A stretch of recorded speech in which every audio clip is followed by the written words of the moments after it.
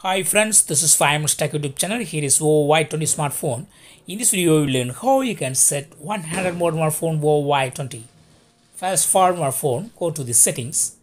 Click here for settings. Now click on shortcuts and accessibility. Click on one handed and turn on the button against access mini screen using gesture. Click OK. Now to activate one handed mode, just swipe on the right side to and pro.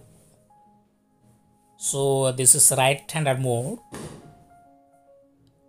In this way also you can use left side mode that is swipe like this to and pro on the left side and left hander mode will be active.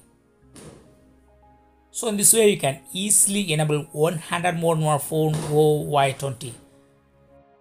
Suppose if you want to turn off one handed mode, again go to the same settings, click on one handed and turn off this button. Now it will not work. So in this way you can easily control one handed mode. That's all friends. Bye.